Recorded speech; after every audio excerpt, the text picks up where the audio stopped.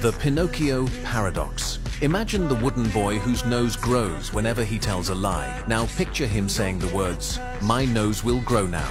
If his nose grows, then he was telling the truth. But his nose only grows when he lies, so it shouldn't have. But if it doesn't grow, that means he was lying, which should have made it grow.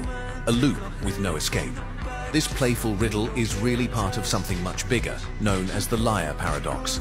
The classic version is even simpler, a sentence that says, this statement is false. If it's true, then it's false. But if it's false, then it's true. No matter how you twist it, the logic breaks down.